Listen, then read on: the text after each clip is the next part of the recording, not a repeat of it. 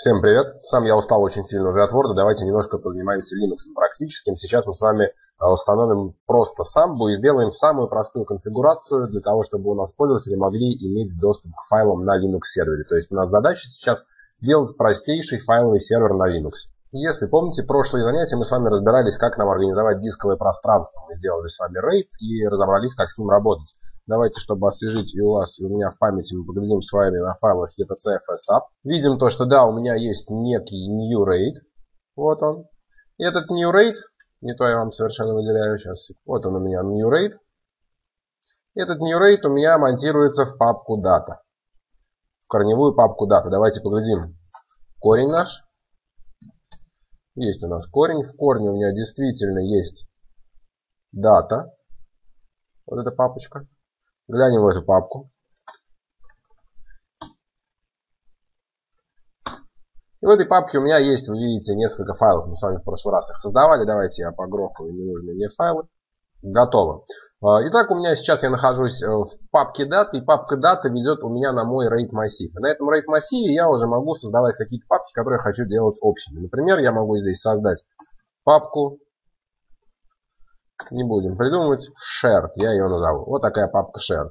Мы с вами уже проходили по LPIC команды различные, которые нам показывают права на папки и на файлы. Вижу то, что есть у меня папка shared, и на нее есть полный доступ у моего пользователя. Пока заморачиваться ничем не будем. Видим то, что я и владелец, и группа владельцев. И у меня, как у владельца и как у группы владельцев, есть полный доступ. У всех остальных есть доступ и только на чтение этой папки. Нам будет этого, пожалуй, достаточно. А, давайте приступим к тому, что Сейчас установим пакет, который нам нужен для организации файлового сервера. Вообще есть у нас Samba 3, Samba 4, есть Samba 3.5, различные версии Samba. А, новая версия Samba хороша тем, что она вообще может быть использована для создания контроллера домена на базе Linux. нам сейчас нужно просто создать файловый сервер. У нас тема серии уроков этих это файловый сервер. Так вот, для того, чтобы нам установить Samba, нам нужно ее установить. Давайте напишем superuser do Стал. Собственно, самбо. Просит 50 мегабайт скачать, конечно, Y. Прекрасно у нас установилась самбо. Конфигурация самбо у нас находится в файле etc samba smb.conf. Давайте мы этот файл, давайте поглядим, во-первых, эту папочку. etc samba. И здесь у нас есть файлик, вот он smb.conf, который определяет конфигурацию всего файлового сервера. Настройка Samba осуществляется исключительно редактированием вот этого файла конфигурации. Давайте мы его скопируем на всякий случай, чтобы с ним, если что-то случилось, если мы что-то напортачим, можно было его вернуть. Скопируем его под именем original. smb original conf. И так, да, конечно, нужно опять права суперпользователя, как обычно. Скопировали. Можем теперь посмотреть наш файл конфигурации smb.conf.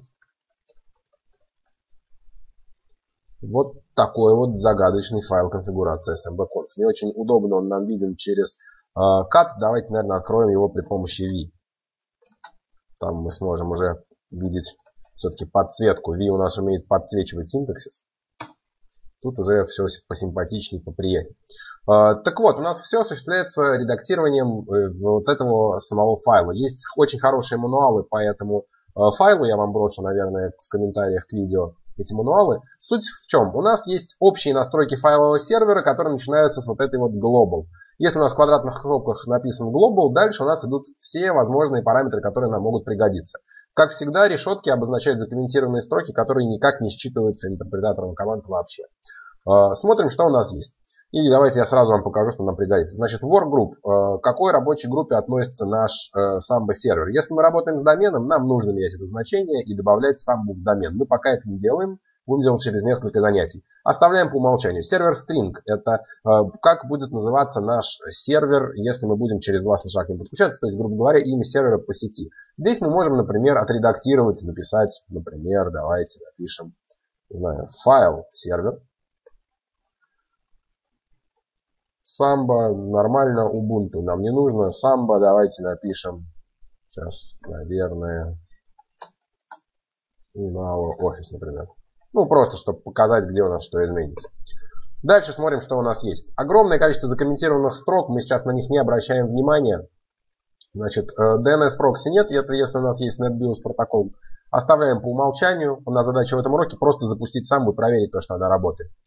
А, логи, размеры логов, что делать в случае паники. А, роль сервера очень хорошая роль. Вы видите то, что у нас есть несколько вариантов ролей сервера. Это выделенный сервер, член чего-нибудь, например, может быть это контроллер домена и так далее. У нас роль отдельный просто сервер, который будет использоваться как сервер баз данных. А, следующая строчка очень важная. Это password database, где у нас хранятся пароли. У нас по умолчанию стоит TDB-SAM. TDB-SAM это встроенная база данных, Trivial Database, обычная простенькая база данных. Нас она сейчас и строит. Если мы будем загонять самбу в домен, мы меняем эту строчку. PAM ниже, э, настройки PAM, э, ограничений PAM, пусть тоже остаются, это подключаемые модули аутентификации, куча библиотек, которые позволяют нам работать через аутентификацию IP. -шкой. Нам тоже все здесь не нужно трогать, оставляем по умолчанию пароль, который используется, программа, которая используется для проверки паролей, э, как выглядит диалог паролей, все это не трогаем. Нас это все полностью устраивает. Оставляем все, все, все по умолчанию. Мы можем вообще все стереть и создать конфигурацию простенькую из нескольких строчек, но у нас уже есть готовый файл, почему бы его не оставить. А, и вот дальше у нас уже начинаются настройки э, папок общего доступа. Вы видели, та наверху вся секция относилась к настройкам Global. А теперь у нас есть отдельные настройки. У нас есть настройки для принтеров. Если у нас есть принтеры на этом сервере, мы можем их шарить отсюда, тоже пока этим не занимаемся. А можем создать свою общую папку. Этим я вам предлагаю сейчас и заняться. То есть у нас есть с вами папка shared, по-моему, я ее создал. Давайте сделаем отдельную секцию для новой папки общего доступа. Назовем ее, не знаю, shared folder номер один. Закрываем квадратную стопку. У нас подсветилось желтеньким. Прекрасный синтаксис. Табуляция. Коммент. Это как у нас будет называться эта папка по сети. Ну, все что угодно можно написать. Сам share folder. Пусть будет. Дальше. Самый важный параметр. Путь к этой папке. Путь к папке у нас простой. У нас есть папка даты, если не ошибаюсь, мы сейчас смотрели в начале занятия. И на этой папке мы создали, в этой папке мы создали папку share. Вот это у нас и будет путь к нашей общей папке. Надеюсь, у меня там она с большой буквы тоже была написана. А, дальше параметр. Очень полезный параметр. Наследование. Сейчас. Inherit ACLs, наследование ACL. ACL это Access Control листы. То есть, если у нас есть какая-то настройка безопасности для вышестоящей папки, то все вложенные в нее файлы будут наследовать эту безопасность. Если мы не включим этот параметр, то у нас будет работать та самая маска файлов и папок, о которой мы уже говорили в нашем LPIC. То есть, по умолчанию желательно включать Inherit ACLs, так будет проще. Дальше, сделать ли эту папку доступной для записи в нее. Опять же, если мы используем это как какой-то файлообменник, как я чаще всего использую сам для хранения резервных копий, если у меня нет какой-то сложной виртуализации, то я, конечно, делаю writable yes. Если у нас есть просто какое-то огромное количество документов, которые используют только для чтения, не знаю, какие-то реквизиты, компании, что-нибудь такое, какие-то такие данные, которым имеется доступ надо только для чтения, мы здесь пишем э, writable равен no. Дальше. Важные параметры valid users, пользователи, которые имеют право вообще работать с этими папками. Мы сейчас создадим, добавим только одного моего пользователя. В дальнейшем будем разбираться, как все добавлять группы и как настраивать аутентификацию из домена и так далее. Итак, э, действительный пользователь будет только я. Read list, то есть те пользователи, у которых есть доступ только на чтение. Давайте тоже добавим меня. И пользователи, у которых есть доступ только на запись, ну в смысле на запись и на чтение, само собой тоже буду я. То есть у нас такая простая-простая конфигурация для одного пользователя. Опять же говорю вам, этого, как правило, достаточно, если мы делаем просто какое-то огромное хранилище, и у всех пользователей одинаковый уровень доступа, будь то резервные копии или какая-то файловая помойка большая. Escape ZZ, сохраняюсь. Прекрасно. Есть очень хорошая утилита, которая позволяет нам проверить конфигурацию. Тест Parm она называется. Тест Parm. Она проверяет конфигурацию самбы, и если там что-то плохо, она нам или подсказывает, или сама автоматически меняет. Очень хорошая утилитка. Что она у нас делает? Считывает, вы видите, конфигурационный, конфигурационный файл smbconf, видит то, что у нас есть лимит в 1024, поднимает этот лимит для Windows лимита в 16 тысяч чем-то по подключениям, проверяет секции, какие у нас есть, и говорит то, что все прекрасно. А, предупреждает то, что некоторые share names у нас длиннее, чем 12 символов. То есть вот это вот длинную папку, я так по-дурацки назвал, просто проверить, сработает или нет. Говорит то, что старые клиенты, такие как Windows 90 какой-нибудь, Windows Millennium или SMB клиенты, которые были до третьей самбы, то есть очень древние машины, могут у нас немного в этом месте подтупить и не увидят это шаром. Ничего страшного, нажимаем Enter, он нам показывает дамп, то есть все настройки. Дамп он показывает каким образом? Он не отображает те строки, которые были закомментированы решетками. И мы видим только те настройки, которые остались не закомментированы. То есть вот у нас по умолчанию так выглядит моя самбо. Теперь важный момент. Несмотря на то, что у меня в базе данных уже в моей, на, моем Linux есть мой пользователь с моим паролем, все равно э, моего пользователя с моим паролем в самбу не пустят. Я должен добавить этого пользователя в базу данных самбы.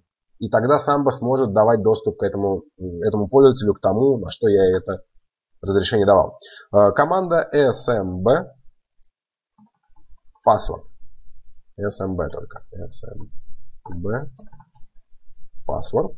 И эта команда с ключом минус e добавить добавляет пользователя моего. Если я здесь напишу какого-нибудь другого пользователя, команда споткнется и скажет, что в принципе у меня в Linux нет такого пользователя. Теперь я вижу то, что она видит то, что у меня есть мой пользователь и говорит, введи для него пароль самбы. То есть мой пользователь для входа в систему может иметь пароль отличный от того пароля, который будет использоваться для общего доступа по сети. Давайте так и сделаем. Сделаю раз, два, три, четыре, пять, шесть пароль. И еще раз. Раз, два, три, четыре, пять, шесть. Отлично. Добавил пользователя. Он, видите, пишет нам, то, что пользователь добавлен. И теперь, после того, как мы вносим какие бы то ни было изменения в самбу, нам нужно перезапускать ее службу. Для этого у нас есть команда, мы это тоже по LP проходили, сервис Самбо демон, SMBD пишется. Рестарт. А, конечно же, у меня нету, как обычно, прав, а я тут развлекаюсь.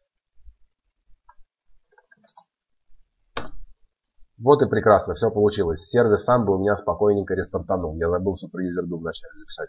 После того, как сервис рестартанул, у меня есть уже общий доступ к этой папке. Очищу экран. Проверю IP-шник сервером. Прекрасно. И давайте имя сервера, потому что мы будем аутентифицироваться по имени сервера. А, я так просто его назвал. Пробую с восьмерки. 192, 168, 97, 40. Кажется, показался мне там айпишник. Сразу вижу shared folder number one. Та папка общая, которую мы создали. Пробую в нее зайти. Он спрашивает у меня имя пользователя и пароль. Пользователь у меня Симаев. Раз, два, три, четыре, пять, шесть и попадаю в эту папку. У меня должен быть здесь полный доступ на все, поэтому я могу здесь создать подпапку. Не знаю, давайте напишем. Создал Windows 8. У меня здесь есть разрешение на создать текстовый файл, например, какой-нибудь, не знаю, readme. То есть вот я сейчас нахожусь на своем Linux и прекрасно это все работает. Я могу эту сетевую папку, например, взять и подключить как сетевой диск никаких проблем. У меня уже будет доступна эта папка, и у меня есть свой уже а, файловый сервер Linux, простенький. Пробуем Ubuntu через тот же самый проводник, так будет проще всего. Можно поискать в сетке, у меня в сетке полно разных устройств, поэтому сразу пишем connect to server. Сервер у меня так и называется сервер, но у меня не настроены никакие DNS, и поэтому я пишу 192, 168, 97, 40. Пробуем законнектиться видим, у меня есть та самая папка общего доступа с принтерами, ну, которая у меня никак не настроена, на винде ее не было видно, и shared folder number one. Пытаюсь я в нее залогиниться, указываю пароль раз, два, три, четыре, пять, шесть. И вижу папку, которую я создал с Windows 8, вижу файл readme, могу этот файл readme зайти, что-нибудь в нем поделать, сохранить. Могу этот файл закрыть. Могу точно так же здесь создать новую папку. Тут у меня русского языка, по-моему, нету. Или есть. Нет, нету. Поэтому я пишу created from Linux. Readme оставлю, как он и есть. И теперь, если я на своем сервере полезу в свою папку data, в папку, как она там у меня, shared, я увижу там и то, что я создал, давайте красивее сделаем, и то, что я создал с винды, и то, что я создал с Linux, и мой обычный текстовый файл мы тоже видим. То есть все это есть у меня на моем сервере, и все это доступно нашим машинам в локальной сети, если они ведут правильный логин и пароль.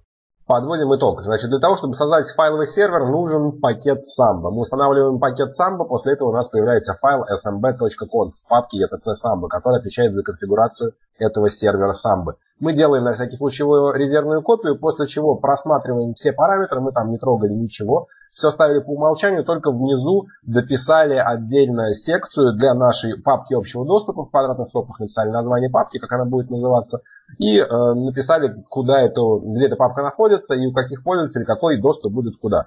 После чего командой smb password добавили существующего Linux пользователя в базу данных э, логинов паролей Samba. Э, командой test.parm проверили, э, насколько у нас корректна конфигурация файла smb.conf, после чего перезапустили сервис Samba и начали уже проверять, как мы подключаемся к этому файловому серверу Linux с виндовой машины и с Linux машины. Дальше будем усложнять.